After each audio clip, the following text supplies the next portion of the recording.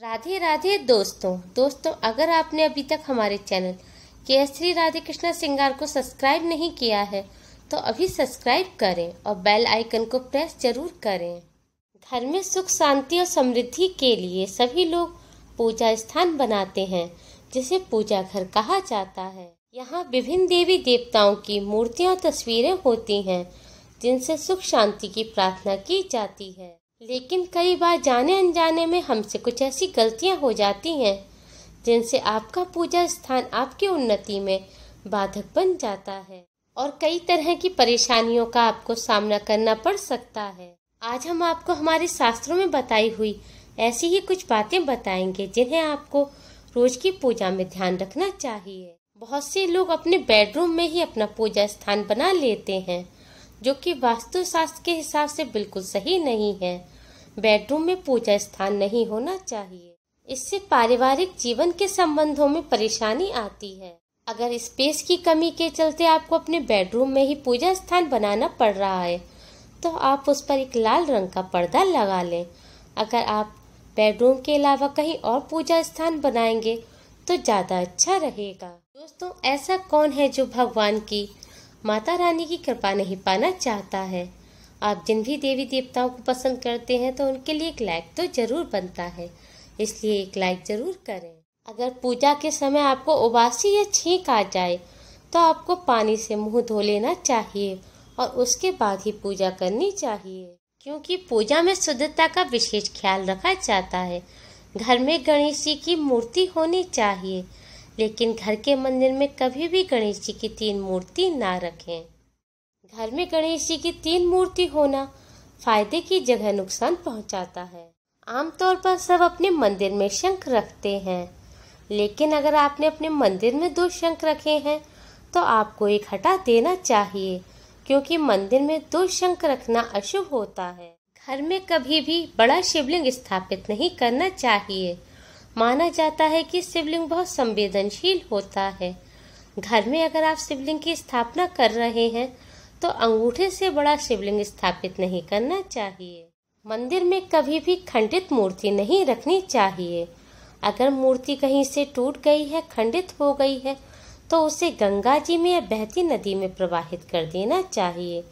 कोशिश करें कि आप ऐसी मूर्तियों को गंगा जी में ही प्रवाहित करें, क्योंकि गंगा जल बहुत शुद्ध होता है। अगर आप अपने पूर्वजों की तस्वीरें लगाना चाहते हैं तो दक्षिण दिशा में लगाएँ, क्योंकि दक्षिण दिशा पूर्वजों की दिशा होती है। अगर आपका मंदिर दक्षिण दिशा में है तो वहाँ पर भी आप अपने पूर्वजों की तस्वीरें ना लगाएँ और कोशिश करें कि अपना मंदिर उत्तर या पूर्व दिशा में ही स्थापित करें। भगवान को अर्पित की जाने वाली फूल पत्तियाँ बिना धुली नहीं होनी चाहिए।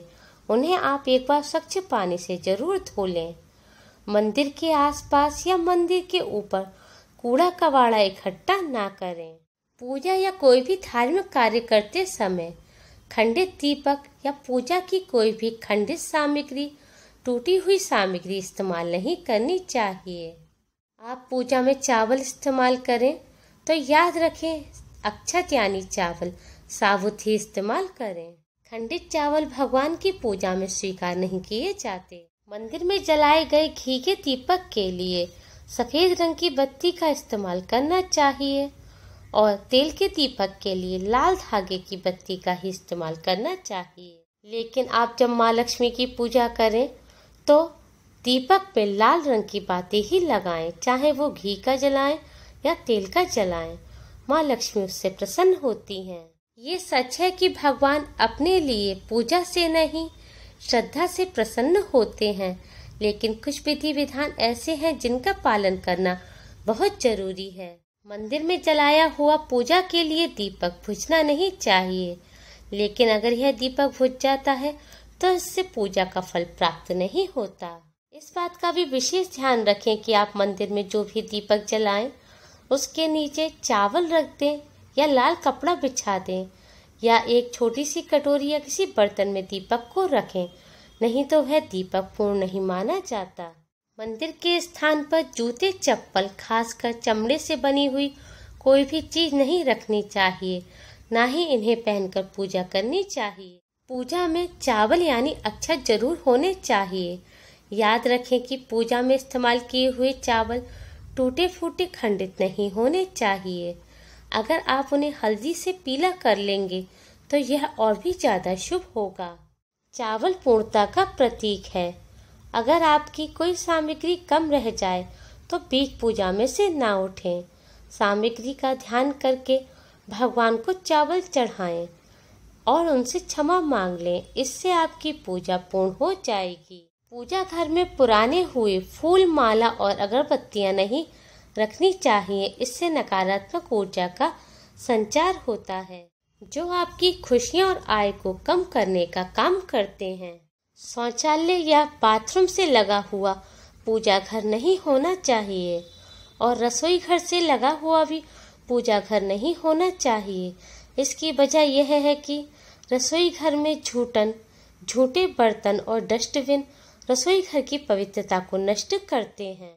इसलिए डस्टबिन को रसोई घर से बाहर ही रखें और कोशिश करें कि अपने झूठे बर्तन आप माज कर साफ़ कर कर हाथ के हाथ रख दें और रात को तो उन्हें साफ़ कर कर ही सोएँ।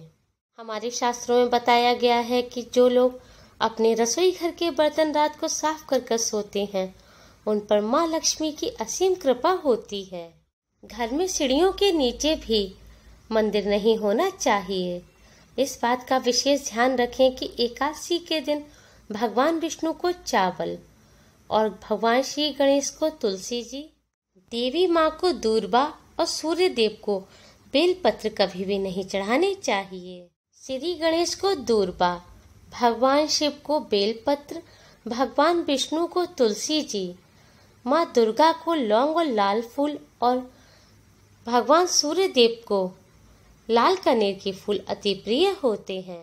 अगर आप यह सब ना चढ़ा सके तो सबको अक्षत यानी चावल अति प्रिय होते हैं तो आप सबको चावल ज़रूर चढ़ा दें।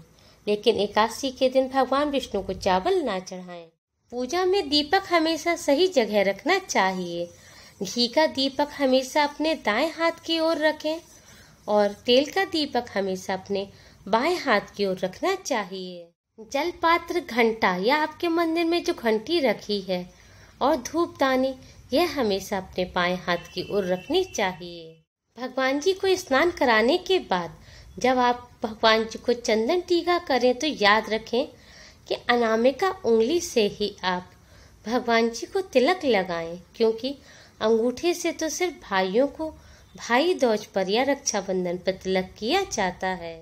अनामिका उंगली उसे कहा जाता है जो आपके हाथ में छोटी उंगली होती है, उसके पास वाली उंगली को अनामिका उंगली कहा जाता है, उससे ही तिलक करें।